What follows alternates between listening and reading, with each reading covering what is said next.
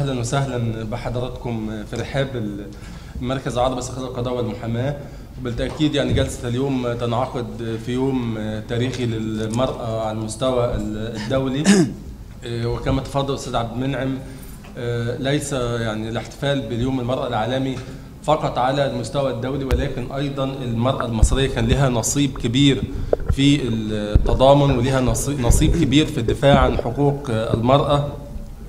وكان ليها دور كبير أيضا في كاحد الروافد الأساسية لثورة 25 يناير ولا نستطيع أن نبدأ قبل أن نذكر يعني المرأة وخاصة أمهات الشهداء وأخوات الشهداء تقدموا أرواح يعني ذويهم زودا عن الوطن.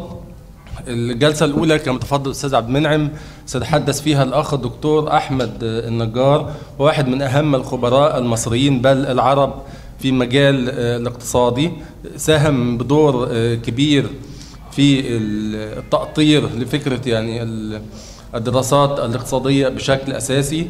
والحقيقة كان ليه دور كبير ليس فقط في مسائل اقتصادية ولكن أنا ربطها بهموم ومشاكل الوطن بشكل أساسي. الدكتور أحمد سيحدثنا حول مشاركة المرأة في التنمية الاقتصادية والعلمية. تفضل دكتور صباح الخير اولا أنا بشكر المركز العربي للقضاء والمحاماه على الاهتمام بهذه القضية لأنه في زحمة الشؤون العامة في مصر في الوقت الحالي كتير من القضايا المهمة لتطوير المجتمع في مصر بتضيع يعني. وهذه قضية في غاية الأهمية الحقيقة. دائما أي مجتمع بيتطور في إطار البيئة العالمية اللي هو موجود في وسطها بنسميها الوسط التاريخي اللي هو بيؤثر على أي مجتمع وبيتأثر بهذا المجتمع إذا إذا كان هذا المجتمع عنده من الحيوية والقدرة إن هو بالفعل يبقى مؤثر في البيئة العالمية مش مجرد متلقي ليها وبالتالي يعني مصر فيما يتعلق بكل ما له علاقة بالمرأة من تعليم من عمل من مشاركة سياسية إلى آخره مرتبطة بالبيئة العالمية وأيضا بالتطورات والظروف الداخلية في مصر. اللي هي بعض الأحيان بتكون معاكسة للتطورات على الصعيد العالمي ومرتبطة بتطورات في منطقة محددة من العالم هي أكثر ارتباطا بها. لو نظرنا للعالم عموما تطور الوضع السياسي، الوضع الاقتصادي، وضع التعليم بالنسبة للمرأة بناء على احتياج المجتمع لمشاركتها في لحظات معينة. يعني عاده تحتاج المجتمعات لحشد كل أبنائها في اللحظات الفارقة ولحظات الأزمات سواء كانت أزمات اقتصادية أو أزمات وطنية متعلقة بحروب أو باحتلالات أو أشياء من هذا القبيل. عشان كده هنلاقي أغلب الحقوق السياسية للمرأة أعطيت بعد الحرب العالمية الثانية. لأنه المرأة في الحرب العالمية الثانية خاضت نضالا جبارا مع جنبا إلى جنب مع الرجال في البلدان التي تعرضت لأزمات كبرى في تلك الحرب. كان في نموذج آخر مرتبط بجانب ايديولوجي اللي هو الدول الاشتراكية نفسها اللي كان عندها موقف فيما يتعلق بمسألة المساواة بين المرأة والرجل فقدمت نموذج عالمي في هذا الصدد وكان هذا النموذج تأثيره أيضا في لحظة الحرب واضح جدا إنه هذه المرأة اللي حصل نوع من المساواة القانونية رغم إن المجتمعات كانت أكثر تخلفا بكثير في روسيا مثلا أو في الدول الاتحاد السوفيتي السابق من دول أوروبا الغربية لكنها المرأة أعطيت حقوق لم تكن معطاة لها في الدول الغربية وبالتالي مشاركتها في الحرب الوطنية العظمى كما تسمى بالنسبة لهم في اللي هي الحرب العالمية الثانية كانت بالفعل هائلة وساعدت بلدانها على أنها تعمل إنجاز في تلك الحرب. إحنا عندنا في مصر الحقيقة أن التطورات فيما يتعلق بقضايا المرأة ومشاركتها في التنمية ومشاركتها السياسية ارتبطت أيضا بالحروب الوطنية. عندما جاء الاحتلال الفرنسي لمصر 1798 ل 1801 الحقيقة ده واحد من أحط الاحتلالات التي مرت على مصر في تاريخها في ثلاث سنوات من التقتيل الهمجي والإجرامي قتلوا 300 ألف من المصريين. يعني خلال 75 سنة من الاحتلال البريطاني قتل حوالي 25 ألف. أما خلال الاحتلال الفرنسي خلال ثلاث سنوات كان 300 ألف. طبعا الفارق مش إن في استعمار حلو واستعمار وحش. الاستعمار كل أنواع الاستعمار هي في الحقيقة نمط منحط من محاولات سيطرة دولة أو رأسمالية جشعة على بلدان أخرى أو إقطاع فيما قبل على بلدان أخرى ونهب مواردها. اللي فرق إن مصر كانت تطورت. فلم يعد من الممكن أن يحصل هذا التقتيل الهمجي والإجرامي اللي حصل في فترة الحملة الفرنسية، لكن المهم إن فترة الحملة الفرنسية كان في مشاركة هائلة من النساء. يعني بتذكر الحملة الفرنسية مش إحنا. إنه لما احتلوا مصر عموما تم إبادة الحاميه الفرنسية في المنصورة بالكامل. وكانت اللي شارك في هذا الأمر رجال ونساء. طبعا كان الرد عاصف. يعني نصبوا المدافع على في مواجهة الأحياء اللي قامت بالثورة والمناطق اللي قامت بالثورة ودمروا أيضا في هم عاملين ذكر القريتين في المنوفية تتا وغمرين. حصل بالفعل إن هم أبادوا أيضا الحامية الفرنسية اللي كانت موجودة هناك وقاوموا مقاومة عنيفة لما كانت الحملة مرة. فكان الحل إنهم نصبوا مدافع أيضا وده كان المنطق اللي كان سائد بالنسبة لهم حتى بالنسبة للقاهرة نصب المدافع على المقطم في ثورة القاهرة الأولى والثانية وضربها. فعمل نفس الأمر في القريتين تقريبا عمل إبادة شبه كاملة في قرى كانت صغيرة جدا وقتها فمات 400 حد 400 إنسان رجل وامرأة. أيضا في حملة فريزر 1807 على رشيد اللي هي بالفعل رشيد تمكنت من سحق الحملة رجالا ونساء. أيضا لما حاولت الدولة العثمانية ودي رمز للتخلف وأيضا أحد الاحتلالات اللي هي فعلا يعني سحقت يعني قيم التنوير والتطور الصناعي والتطور الاجتماعي في مصر لوقت طويل كانوا لديهم رغبة في استعادة السيطرة بالمشاركة مع إنجلترا على مصر مرة تانية فرتبوا مع محمد الألفي اللي هو كان أحد قواد المماليك الحملة اللي هي هزمت في دمنهور وكانت مشاركة النساء أيضا كما تشير كل التسجيلات التاريخية الأجنبية والمصرية كانت مشاركة هائلة فكان منطقي إن يبقى في دور لأنه المرأة عندما احتاجها المجتمع كانت حاضرة للدفاع عن الأمة مثلها مثل الرجل. فبدأت عملية التعليم في مصر وكان ده المدخل لمسألة مشاركة المرأة في التنمية. عفوا.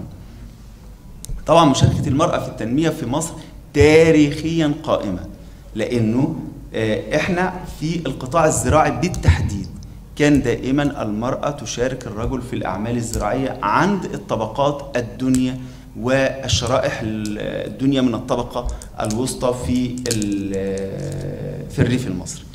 لكن ال... لا أنا عندي حساسية. مش مية فالحقيقة أنه ال... هذه المشاركة كانت قائمة وفي صمت. لكن عندما بدأ المجتمع يتطور عندما بدأت الصناعة أصبحت مشاركة المرأة في الصناعة مرتبطة بفكرة إنها تكون لها علاقة بالتعليم والتدريب.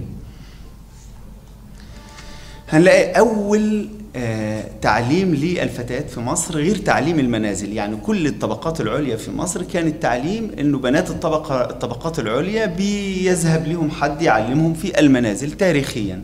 لكن آه كانت أول مدرسة هي مدرسة المولدات أو القابلات. آه اللي هي بالفعل يعني نتيجة إنه مجتمع محافظ وفي احتياج لأنه في حد يساعد في عمليات الولادة فلازم تبقى سيدات أو لازم تبقى مرأة. فتم تأسيس هذه المدرسة في عهد محمد علي. لكن كان في موقف اجتماعي متخلف في الحقيقة. إنه كان يبدو كأنه عار مجتمعي على أي حد إنه يتجوز واحدة خريجة مدرسة مولدات أو بتقوم بهذه المهمة. لكن الأمر في الحقيقة لم يستغرق وقتا طويلا. مع ظهور الدور المهم اللي بتقوم به المولدات بالفعل بدأت هذا الموقع الموقف الاجتماعي المحافظ يتفكك. فبدأ بالفعل يبقى فيه قبول مجتمعي لهذا الدور اللي هو دور صح يعني له علاقة بالرعاية الصحية وأيضا دور اجتماعي ودور له علاقة كمان بمسألة تغيير جوهري في مؤشرات معدلات الوفيات في مصر بالنسبة للمواليد اللي هي كانت عالية جدا قبل آه، إنشاء المدرسة. بعد كده كان فيه آه، إنشاء مدرسة السيوفية. مدرسة السيوفية اللي هي بعد كده اتسمت المدرسة السنية اللي هي أهم مدرسة أشهر مدرسة في تاريخ مصر في الحقيقة في المدارس الرائدة في التعليم. وتوفر لمصر عدد من الرواد اللي ساهموا في إن المرأة تدخل في التعليم. أهمهم في الحقيقة كان أو من أولهم آه، رفاعة الطهطاوي هذا الرجل قام بدور تاريخي هائل وعظيم. المرأة تحتاج للتعليم مثلها مثل الرجل. المرأة حتى وإن بقيت في المنزل هي تحتاج للتعليم لحسن العلاقة مع الزوج لحسن تربية الأبناء لحسن يعني كان آه، آه، أيضا آه، لا يقف عند هذا الحد ولكنه كان بيرى أن المرأة من حقها أيضا أن تعمل بعد ما تحصل على التعليم اللي بيؤهلها للعمل. كان في أيضا دكتور أحمد لطفي السيد كان في آه، سيدات هم نفسهم قاموا بدور هائل في مسألة فتح يعني آه، نهر التعليم بالنسبة لمصر. يعني في عائشة التيمورية وهي بالمناسبة كردية الأصل. آه، لكن مصر فيها حاجة عبقرية إنه أي حد بيجي أرمني إيطالي كردي تركي ايا كان طالما دخل في هذا المحتوى الحضاري الهائل بيصبح جزء منه وهو مجرد ترس في الآلة الحضارية العملاقة لهذه الأمة. آه هذه السيدة في الحقيقة كانت من رواد التعليم أيضا كان ملك حفن النصف أو ما تسمى يعني اسم الشهرة باحثة البادية. آه كان في بعض الرموز زي آه آه نبوية موسى. هذه السيدة قامت بدور هائل فيما يتعلق بتعليم الفتيات. هي كانت من أوائل من تعلموا وأول حد خد ثانوية وأصرت على العمل وأصرت على الحصول على أجر مماثل للرجال. في وقت أوروبا كلها لم يكن فيها أجور مماثلة أو متماثلة بين الرجال والنساء وحصلت بالفعل على أجر مماثل للرجال. ثم خاضت معركة من أجل آه، أن التعليم في مصر يبقى في تمصير لإدارة التعليم ما تبقاش إدارة بريطانية. ولذلك اعتبرها البريطانيين بالفعل أنها شاركت في الكفاح الوطني من هذا المدخل. ففصلت. فطبعا لأنها كانت مقاتلة شخصيتها مقاتلة فكونت سلسلة مدارس بنات الاشراف لتعليم الفتيات ولنشر تعليم الفتيات واستحقت إن اسمها يبقى من أهم الأسماء اللي بتطلق على المدارس في مصر لحد منتصف السبعينات عندما بدأت المدارس تسمى بأسماء أصحابها. اللي أسس مدرسة يسميها باسمه أو أسامي دينية بدلا من أسماء رموز عصر التنوير والرموز التاريخية لمصر. كان في يعني في مصر بقى عدد من اللي شاركوا في النضال السياسي الاجتماعي زي هدى شعراوي سيزا نبراوي لطيف الزيات سهير القلماوي كان في عدد اللي عندنا قافلة في الحقيقة هائلة. حتى لو اختلفنا مع البعض منهم فكريا ولكنهم قاموا بدور هائل فيما يتعلق بمسألة يعني تأسيس مسألة التعليم في مصر يعني. اللي هو مرتبط ارتباط أساسي بتأهيل المرأة لإنها تدخل سوق العمل في الأعمال غير الزراعية وغير المنزلية. عفوا. لأنه العمل التاريخي للمرأة قبل التعليم كان هو أعمال المنزل والأعمال الزراعيه. بالمناسبة أعمال المنزل آه، هناك نوع من الغبن الحقيقي في النظر ليها. أعمال المنزل هي عمل.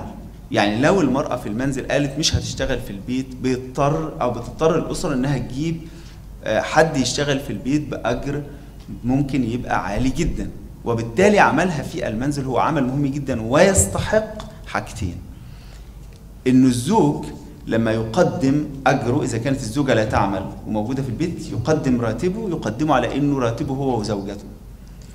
يعني كنوع من رفع القيمة الاجتماعية للمرأة لدى الأسرة إنه ده دخلنا إحنا الاثنين لأن هي بتعمل في المنزل وهو بيعمل في الخارج. الأمر الثاني تستحق وهذا هو الأهم. واللي كل الجمعيات المهتمة بالمساواة النوعية بين المرأة والرجل لم تهتم به أبدا هي فكرة التأمين على المرأة التي تعمل في المنزل. التأمين الدولة تدخل كرب عمل والأسرة تدخل بحصة العامل. يعني الزوج والزوجة يدخلوا بحصة العامل والدولة تدخل في التأمين بحصة رب العمل لأنها بتقوم بدور للأمة. بدور للمجتمع للدولة في إنها يعني تخلق بتعمل بيت مستقر تساهم في تربية الأولاد بشكل أفضل. والأفضل إنه حتى ربة المنزل إنها تكون متعلمة. يعني إذا كان الطهطاوي من قرنين من الزمن قال إن تعليم المرأة جوهري وحاسم في حسن المعاشرة للزوج وفي حسن تربية الأبناء وتنشئتهم فأعتقد إن إحنا دلوقتي بعد قرنين يعني المفترض إن ده يبقى بديهي. إنه فكرة إنه التعليم مهم حتى للي مش هتعمل في آه، خارج المنزل.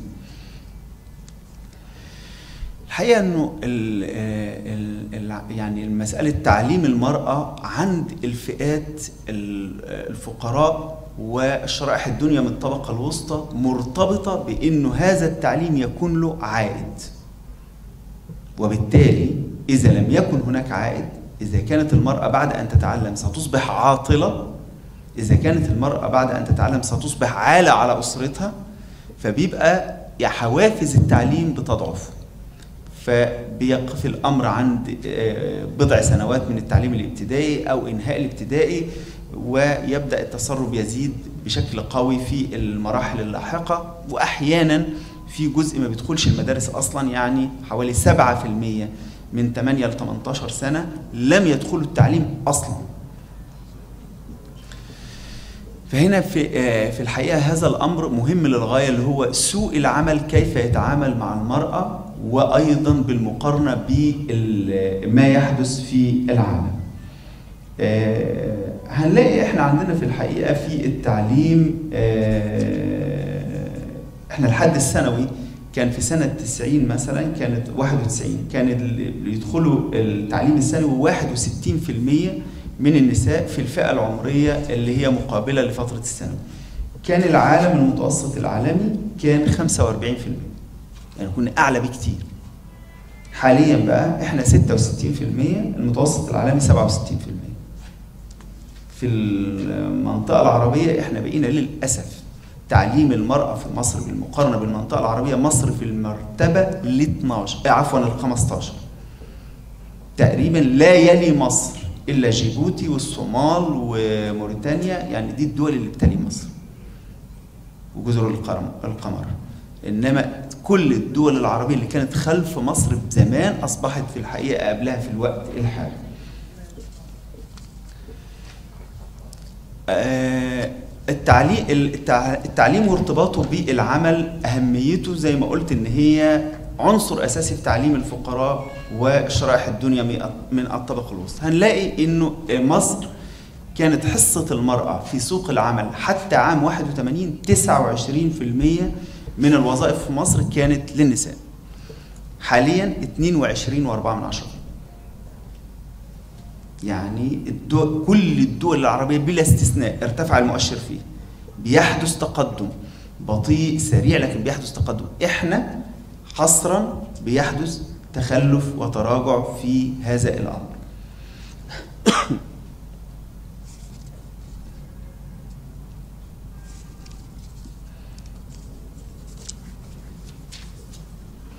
كمان ال- العمل بالنسبة للنساء في مصر هنلاقي إن دخل المرأة العاملة 27% من دخل الرجل.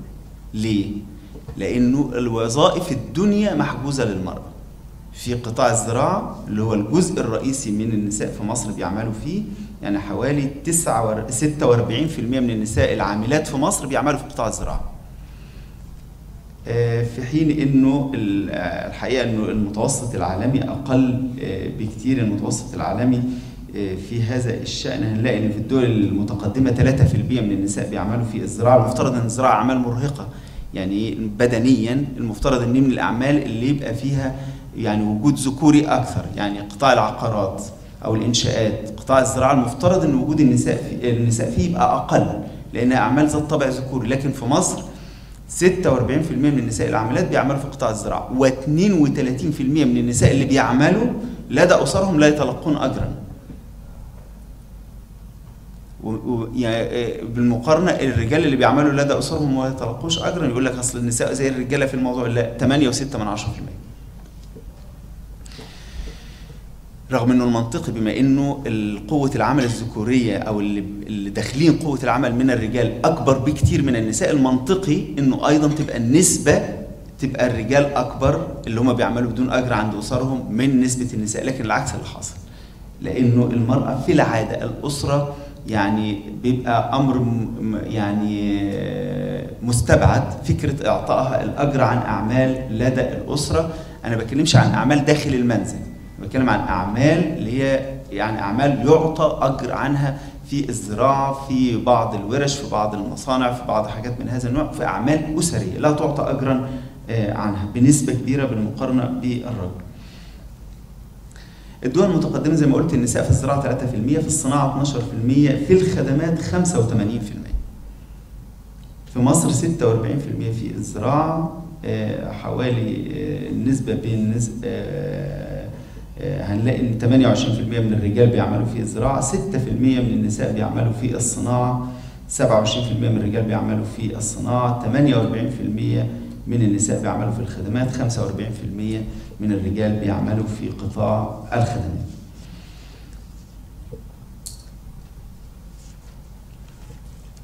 الغريب بقى أن مصر حتى فيما يتعلق بعمل المرأة لو قارناها بالدول العربية هنشوف بقى مصدر التأثير إيه. هنلاقي إن النساء اللي بيعملوا مجموع النساء من قوة العمل ارتفعوا في دول المغرب العربي من 21 واحد من 10% سنة 81 ل 30.5% سنة 2010 في المشرق العربي تراجعت النسبة من 22.7 من 10% إلى 20.6 من 10% وأغلبها لنساء من خارج البلد نفسه. يعني بمعنى أن العمالة في المملكة العربية العمالة في الإمارات العمالة في الكويت العمالة العمالة النسائية الموجودة عندهم مش محلية. هي عاملات قادمات من الخارج بس بتحسب ضمن العمالة الموجودة داخل البلد. فمركز التأثير الرئيسي اللي أدى لتراجع النظرة للمرأة في مصر سواء في التعليم أو في سوق العمل هو منطقة الخليج.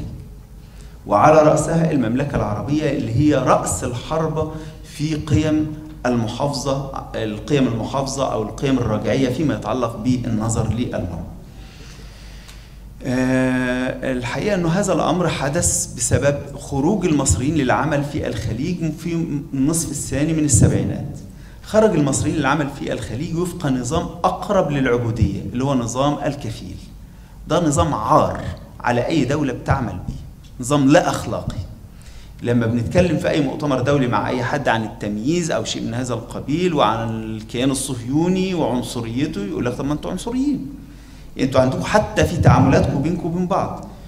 غير البدون يعني البدون ده نمط من العنصرية اللي هم ما بيدهمش الجنسية أصلا.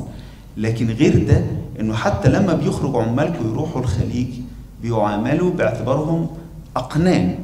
لأنه بياخد الباسبور بتاعك وإذا طلع رب العمل بتاعك راجل محترم بتقضي فترتك كويس. لكن لو له أي غرض من أي نوع تجاه العامل أو العاملة اللي عنده هناك يستطيع أن يفعل ما يشاء لأن الباسبور معاه. وده إحنا شفنا قضايا الجلد وقضايا السجن بالنسبة لكتير من اللي كانوا موجودين في العمل. وغير ده أثره إيه بقى على مساله نقل القيم إن مصر المتنورة المتحضرة اللي عن يعني اللي كان بقالها يعني قرن ونص على الأقل دخلت مرحلة التنوير والتحضر بالفعل لا تنقل قيم التنوير لأنه ليس من شأن القن أن ينقل قيم التنوير إلى السيد. الذي حدث هو العكس. نقل قيمه في كل شيء من هذه المملكة اللي هي رأس المحافظة والرجعية في المنطقة العربية إلى مصر. فبدأت مصر ترتد. إضافة لأمر آخر. الفرق الكبير في الأجور بين الأجر في مصر والأجور في منطقة الخليج أدى إلى أنه عندما يذهب الزوج للعمل في الخليج يستطيع أن يستغني عن دخل الزوجة في داخل مصر وبالتالي أصبح عودتها للمنزل ومسألة يعني بالنسبة له لم تفرق من ناحية تكوين الدخل. وأدى إلى أن الدور الاقتصادي للمرأة في المجتمع يتراجع بقوة. ومساهمتها في داخل الأسرة تتراجع بقوة وبالتالي هذا الأمر بيؤثر على مكانتها داخل الأسرة على النظر لها عموما اجتماعيا. فهذا الأمر أثر بشدة بالذات على الفئات اللي خرجت بكثافة للعمل في الخارج لدى الطبقة الفقيرة والطبقة الوسطى. الطبقة العليا لم تتأثر كثيرا. وأكثر طبقتين في الحقيقة يعني حتى في اللحظات المجتمع بيبقى راجع نسبيا فيها تحررا هم الطبقة العليا وأفقر الفقراء. أفقر الفقراء ما عندهمش ترف المحافظة في الحقيقة. لأنه الزوجة ين- ينبغي أن تعمل في الحقل مع الزوج أو تعمل في حقول الآخرين زيها زي الزوج وبالتالي آه، بالنسبة للقطاع الريفي وبالنسبة للفقراء المدن نفس الأمر. ما بيبقاش عندهم ترف المحافظة أصلا. يعني فكرة التكوين المحافظ أو الراجعي وعمل المرأة الم- الم- اللي هو ممنوع ما عندهمش هذا الترف لأنه احتياجات الحياة هي المجبرة في هذه الحالة. الطبقة العليا لأنها بتظل مرتبطة ب يعني الطبقات العليا في البلدان اللي هي بتتطلع أو بتنظر لها وإن كانت بالفعل مع بعض الارتباطات اللي بتتكون مع مناطق محافظة هنجد أيضا أنه فيروس الرجعية ضربها هي كمان ولكنه ليس شاملا يعني. حقيقة في عودة مرة أخرى للتمييز في سوق العمل كان في حاجة فارقة في مصر سنة 2002 2003 كان في 170 ألف فرصة عمل لدى الجهاز الحكومي فعملوا إعلان عنه. فتقدم وكانوا بيقولوا ان كل العاطلين في مصر أقل من 2 مليون حوالي 1.8 من عشرة. مليون تقدم 7 ملايين لفرصة عمل لدى الجهاز الحكومي بأجر 150 جنيه. لا يمكن إن حد يتقدم لأجر الوظيفة بأجر من هذا النوع إلا إذا كان ليس لديه أي شيء آخر. وبعدين كتير منهم عرفوا إن الموضوع هيبقى صعب جدا فاللي اللي بالفعل وصلوا للنهاية كانوا 4.5 مليون. الألطف بقى إن اللجنة العليا للتشغيل كانت بق- برئاسة رئيس الوزراء اللي هو كان وقتها دكتور عاطف عبيد. في تصنيفها بقى قابلت مين ورفضت مين؟ قالت 660 ألف سيدة. تم اعتبارهم غير عاطلات. ليه؟ لأنهم متزوجات ومستقرات. كأن المرأة يا تبقى مش متزوجة يا تبقى حياتها مضطربة أو منفصلة أو أي شيء من هذا القبيل عشان تعتبر عاطلة. ده طبعا عبث مطلق لأنه تعريف العاطل هو أي رجل أو امرأة في سن العمل قادر على العمل يرغب في العمل عند مستويات الأجر السائدة ولا يجد عملا. ده تعريف العاطل في كل الدنيا. إنما فكرة إن سيدة مستقرة ده لم يخطر على بال أحد أصلا من اللي ع- في علم الاقتصاد يعني لا في مصر ولا بره مصر. فده كان بيعكس إن الدولة نفسها صارت لديها بالفعل أو صار لديها بالفعل اتجاه تمييزي آه، ضد المرأة في مسألة العمل حتى في الوظائف الحكومية. الأمر الثاني ان هو الإنفاق العام. في إنفاق عام موافق أو متوافق أو ملائم لخلق فرص للنساء وفي إنفاق عام مضاد لخلق فرص عمل للنساء. الإنفاق العام كلما زادت حصة الإنفاق على البنية الأساسية كانت فرص العمل ذكورية. ليه؟ إنفاق على البنية الأساسية وأنت مغمض. هو إنفاق على بناء طرق محطات كهرباء محطات مية محطات صرف محطات اتصالات خطوط كهرباء إلى آخره. فدي في الآخر أعمال بنسبة 99% ذكورية. لو في إنفاق عام بيبني مصانع بيبني آه، مستشفيات بيبني مدارس بيبقى عندك انفاق عام موافق أو مواتي لخلق فرص عمل متوازنة بين النوعين. فأنا الإنفاق العام في مصر كان بالأساس على البنية الأساسية وبالتالي هو إنفاق عام متحيز من البداية لخلق فرص عمل ذكورية وليست فرص عمل آه، متوازنة بين النوعين. الأمر الثاني إنه يعني لوقت طويل جدا عندنا نمو اقتصادي بطيء وبالتالي معدلات خلق فرص العمل أقل من معدلات نمو قوة العمل. وبالتالي زادت البطالة بين النساء وبين الرجال. والطبيعي في حالات زيادة البطالة بين في المجتمع كله إن بيتم آه، الاستغناء اولا أو آه، إن أنت ما بتعطيش فرص عمل للنساء. يا استغناء عن موجودين يا إما لا تعطي فرص عمل للنساء إلا في بعض القطاعات اللي هي بيفضل فيها النساء زي جمع الخضروات والفواكه والزهور وغيره لأنه النساء والأطفال لأنه أجورهم بتبقى متدنية جدا.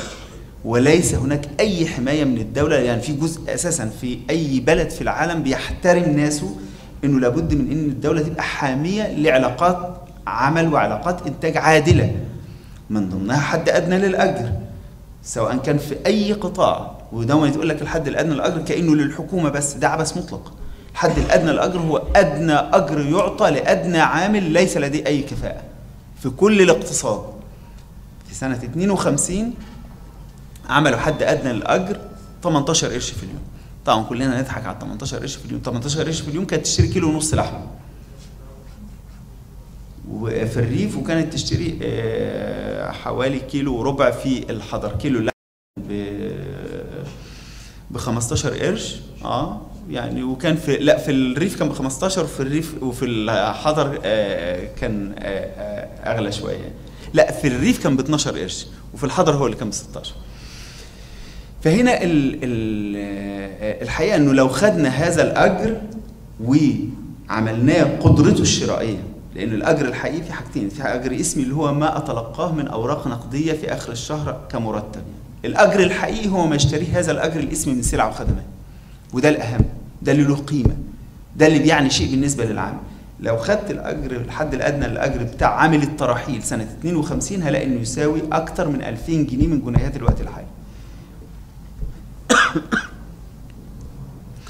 وما خدناهوش بسلعة واحدة اللحمة يعني.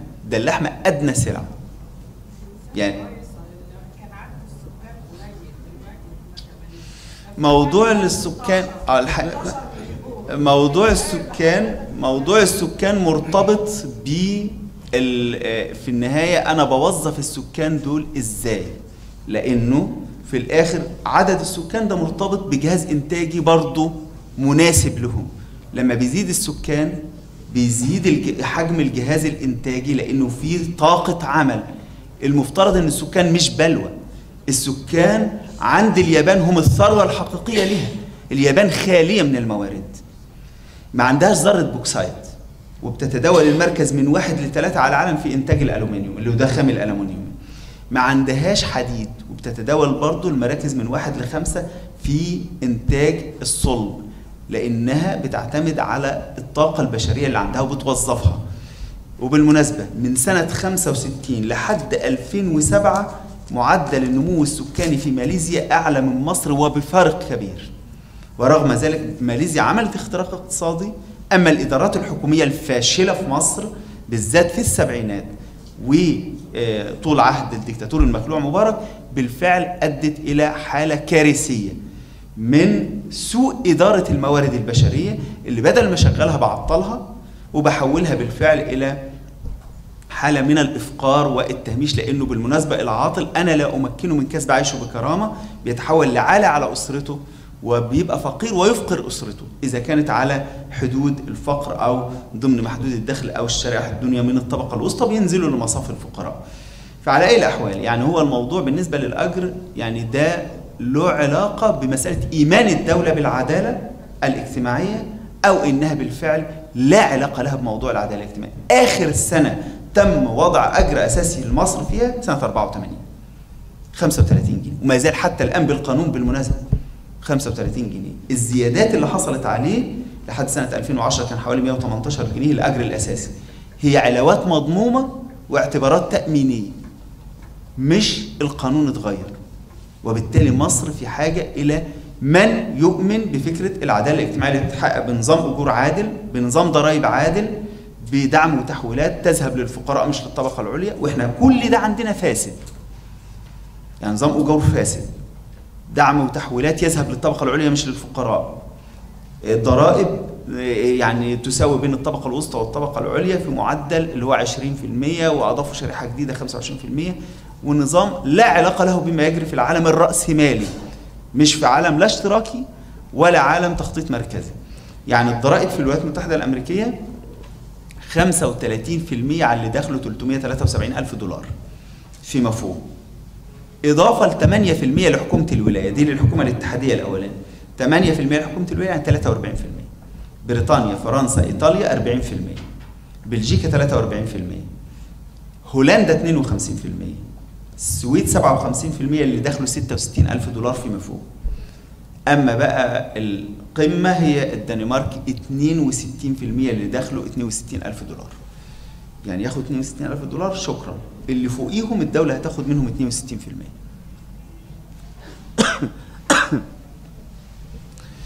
والطبيعي إن يبقى في نظام ضريبي متدرج ومتعدد الشرائح وتصاعدي لأنه اللي بيستفيد من الخدمات العامة ومن الإنفاق العام أكتر هو الأغنياء.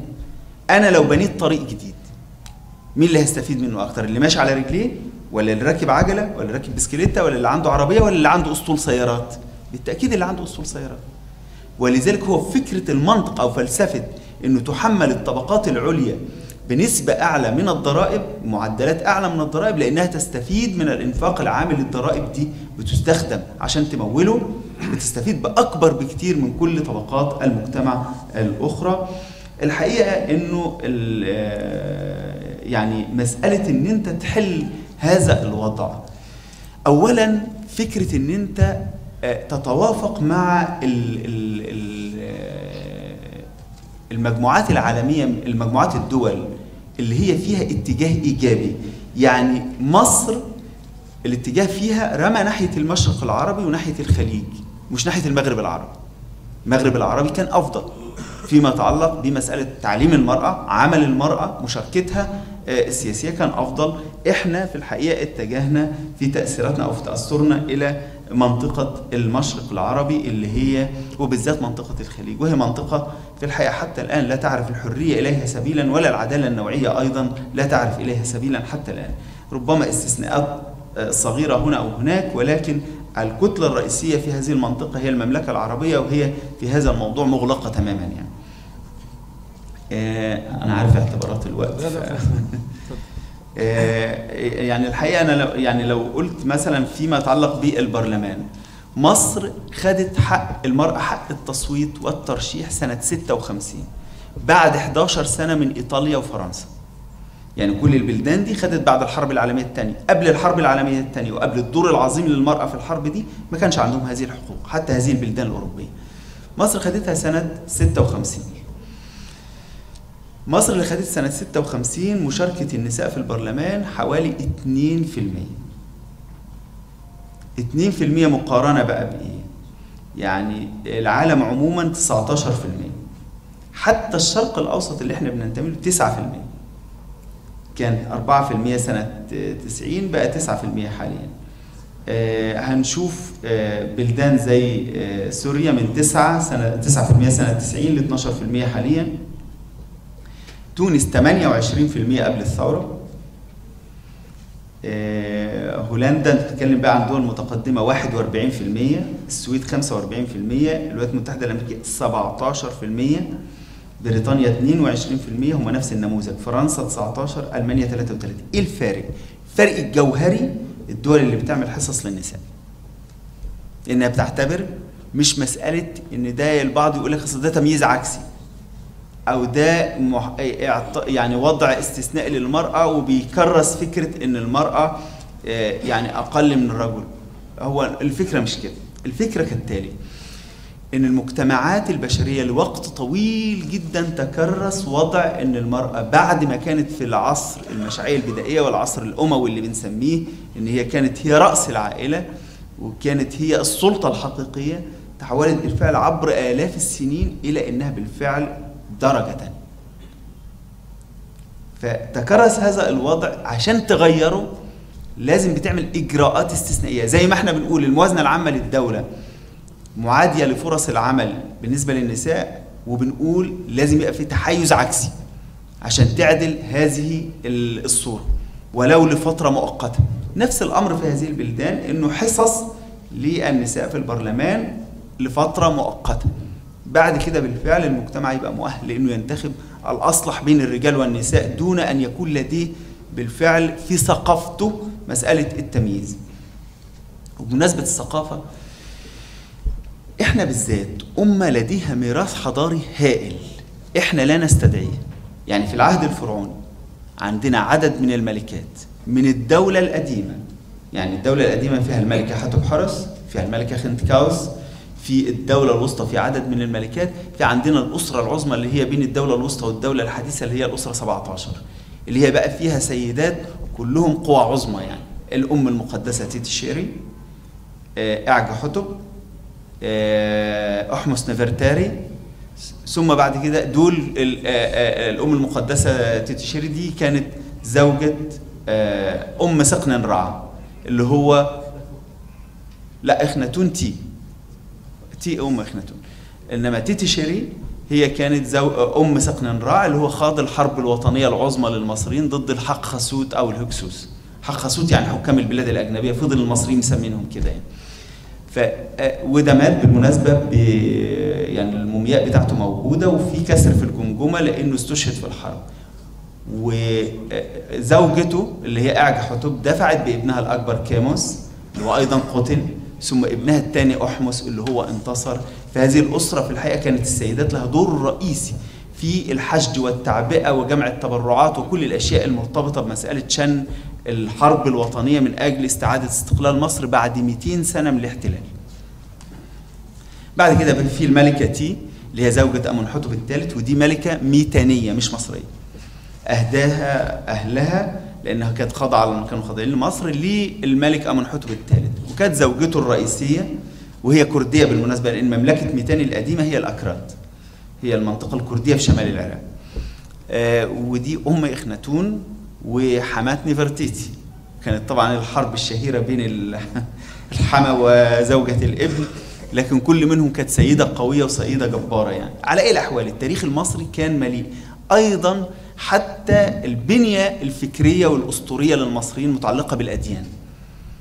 كل المجمعات الأديان تسوع هليوبلس وغيره كان فيها إله مذكر إله أنثى.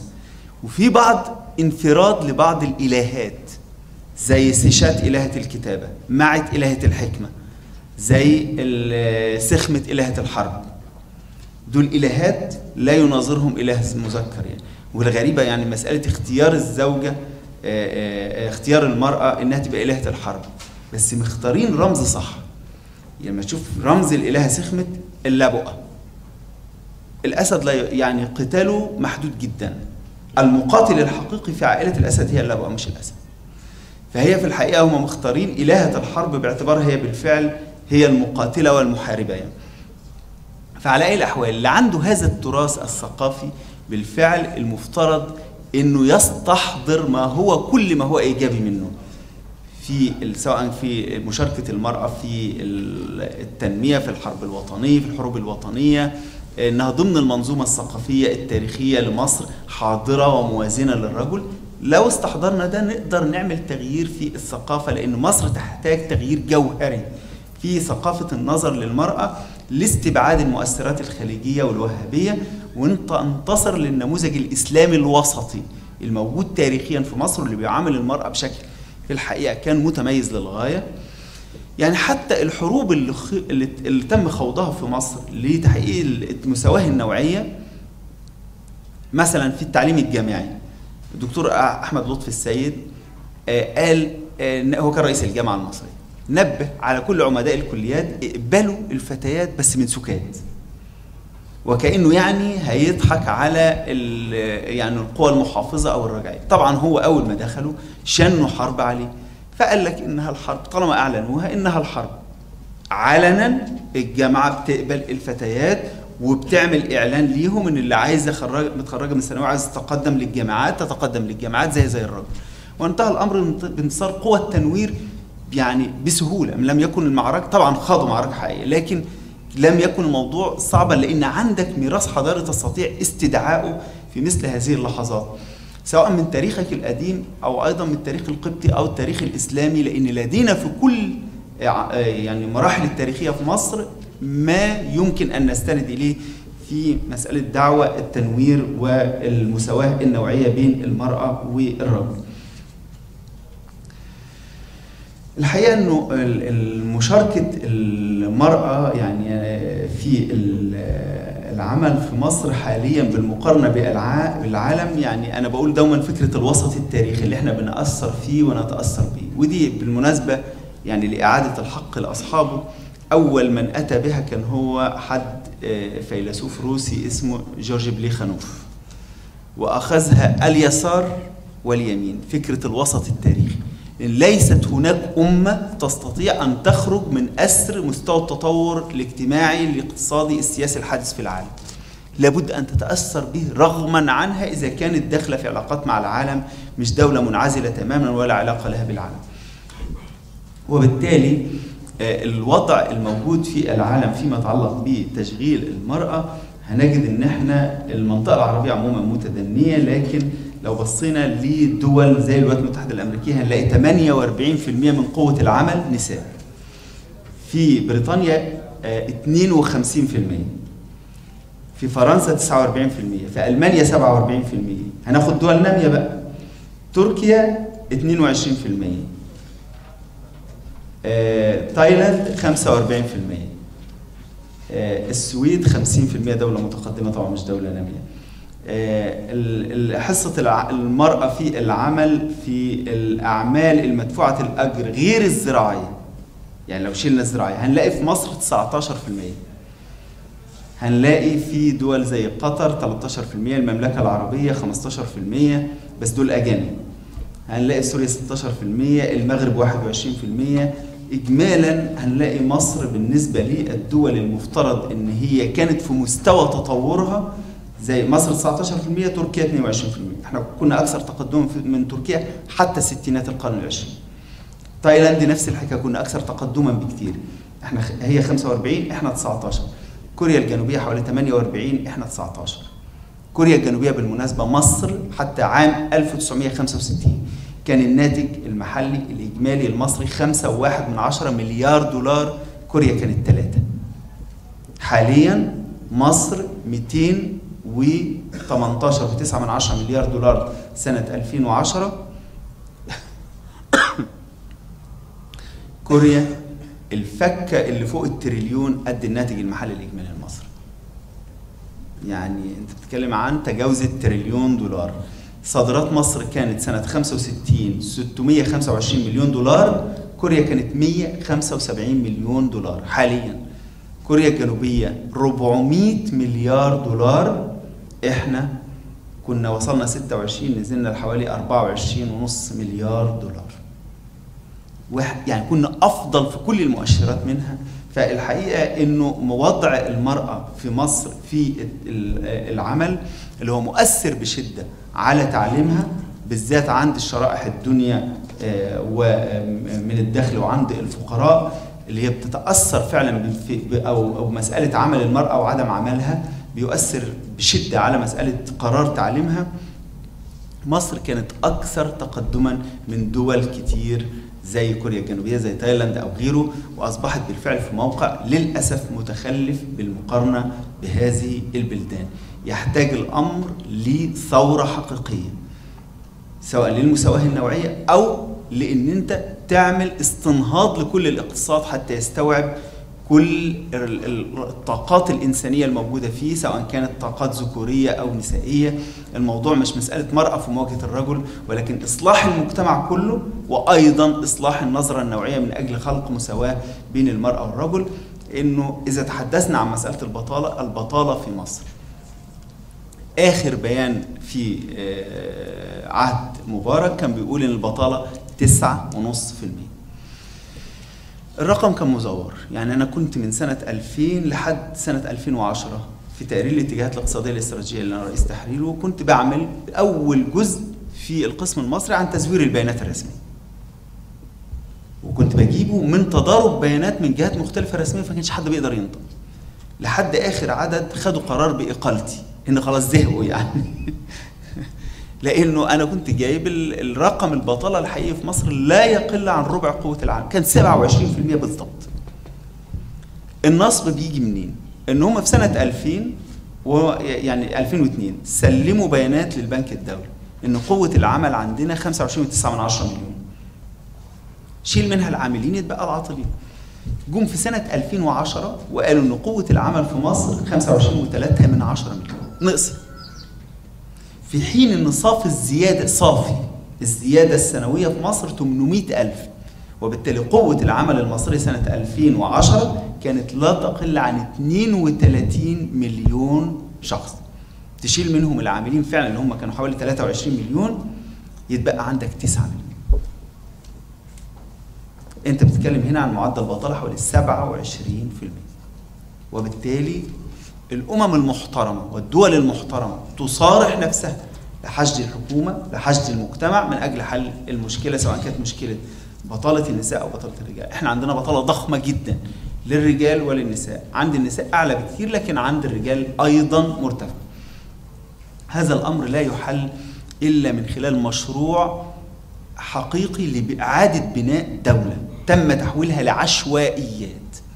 من خلال إن الدولة قطاع عام قطاع خاص آه، آه، حضانة قومية لمشروعات صغيرة حضانات في الأقاليم في المحافظات في المراكز في القرى تساعد النساء والرجال الراغبين في إقامة مشروعات لإقامة مشروعات صغيرة تمولها من أموال الصناديق الخاصة الفاسدة اللي هم بيقولوا حدها الأدنى 36 مليار وبعض التقديرات بتصل ل 98 مليار جنيه موجودين فيها. تمولها من توفير أموال الدعم الفاسد اللي بيذهب للطبقة العليا والأجانب. إحنا عندنا دعم طاقة 95.5 مليار جنيه. منهم ما لا يقل عن 75 مليار جنيه يذهب للرأسمالية الكبيرة المحلية وللأجانب. فلو أزلت هذا الدعم الفاسد هصلح نظام الأجور والتعليم والصحة وهخلق فرص عمل بأن أنا أبني مشروعات جديدة. يعني أقدر أعمل كتير. أيضا رسوم استغلال الثروة المعدنية والثروة الطبيعية من النفط والغاز. ده النهب الحقيقي الذي يجري لمصر في الوقت الحالي. أنا عملت حساب لما تم نزحه من مصر في الثلاث سنوات الأخيرة العصر مبارك.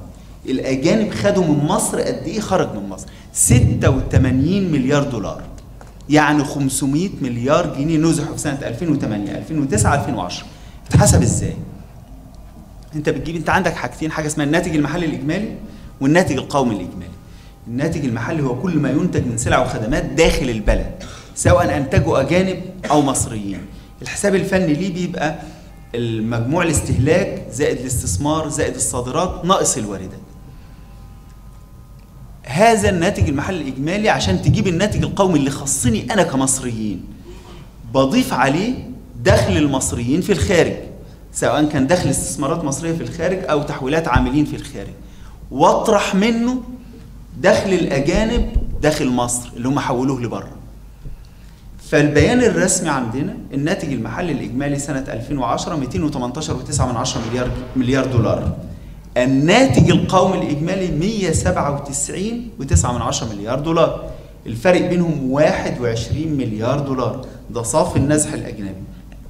عشان تجيب إجمالي النزح الأجنبي بتضيف عليه تحويلات يعني تحويلات المصريين العاملين في الخارج ودخل الاستثمار المصري في الخارج لأن أنا ال 21 مليار ده صافي.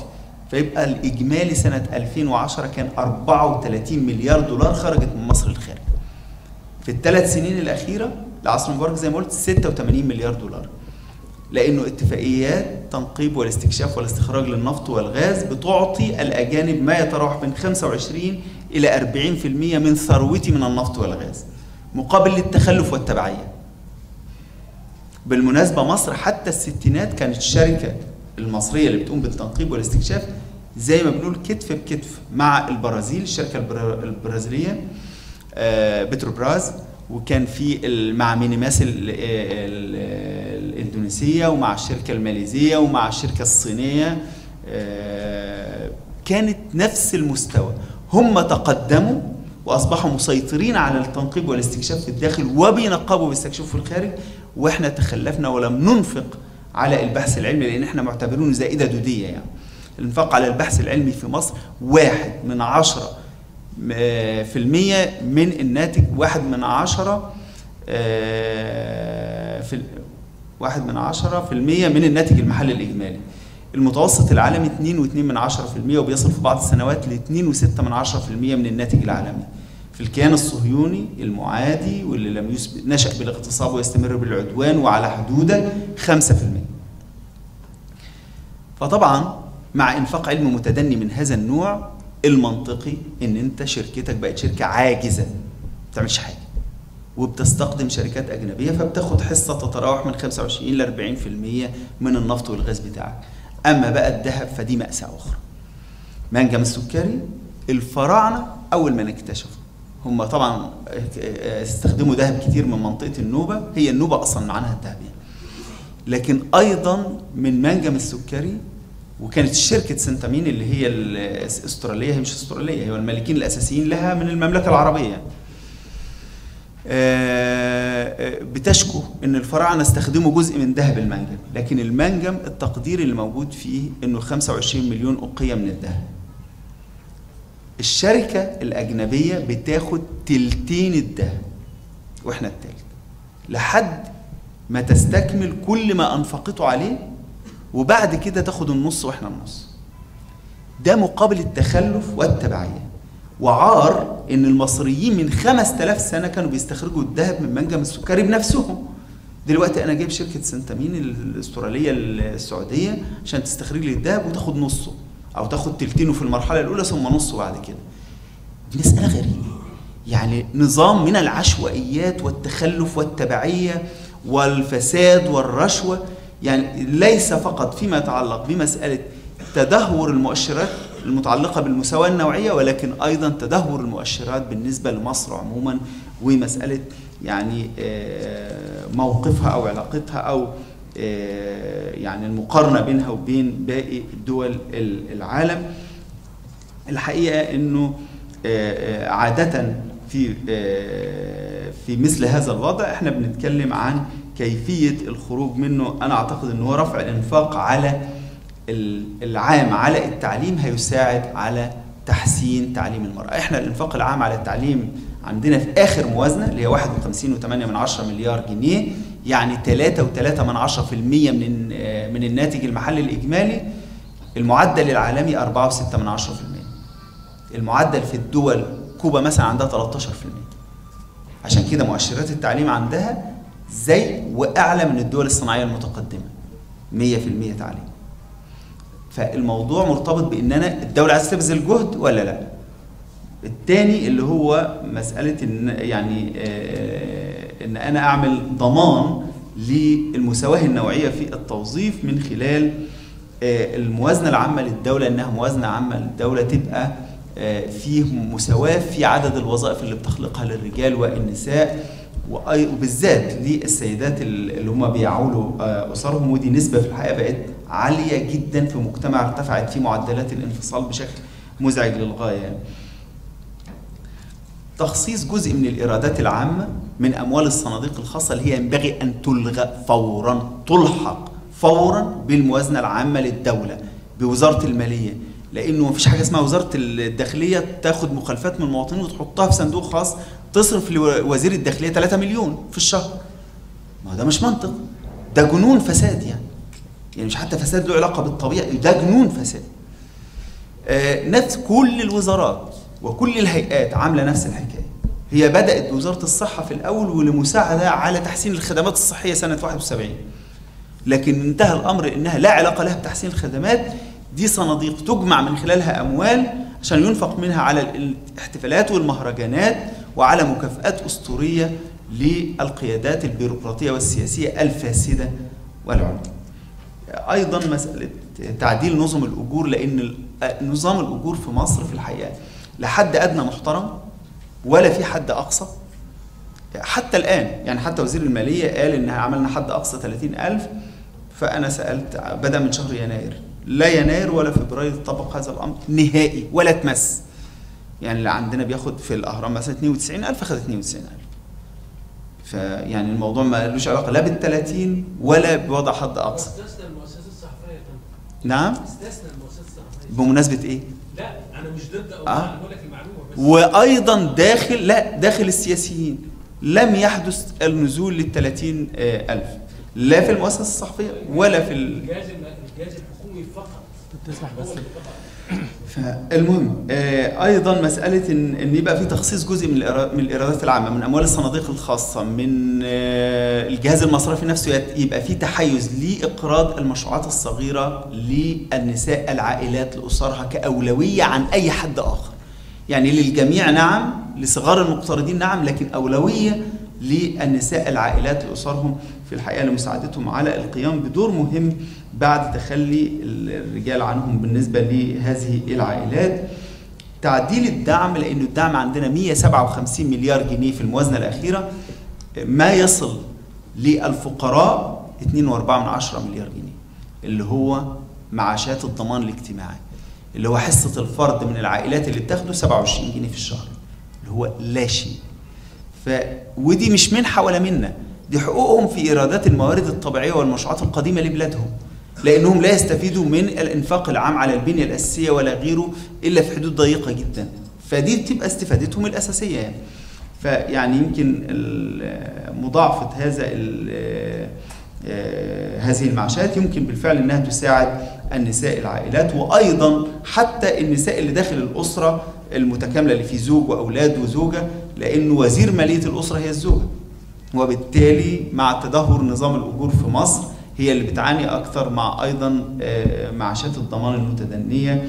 هي أيضا بتعاني آه، أكثر أيضا ربط التحويلات الاجتماعية للفقراء بمسألة تعليم البنات.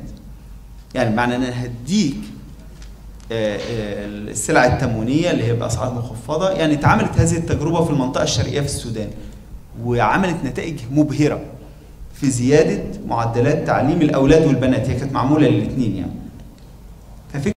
إن أنت تربطها بتعليم الاثنين والاثنين ضمنها معناها إنه المر... البنت تتعلم زي الولد. أعتقد إن هي ممكن تجيب نتائج إيجابية كبيرة. هناك الكثير من الأمور في بالفعل اللي ممكن لمصر إنها تعملها. شرط أن تتوفر لها حكومة منتمية بالفعل لأهداف الثورة للرغبة في التغيير لتحقيق التوازن والتعادل والمساواة النوعية.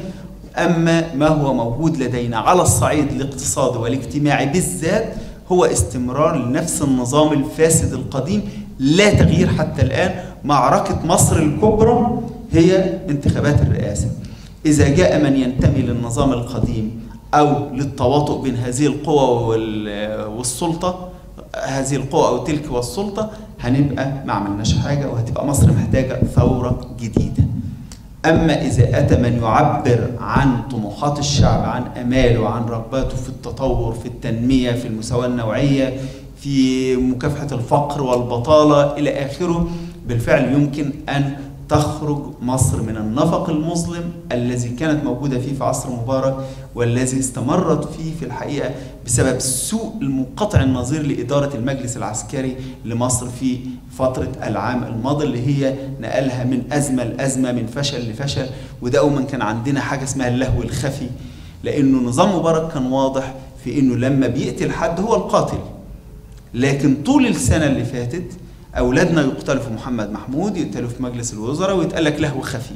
اللهو الخفي بقى في قضية التمويل الأجنبي المجموع الجمعيات المجتمع المدني في الحقيقة ظهر بشكل واضح وجلي إنها السلطة ولا أحد غير السلطة. شكرا.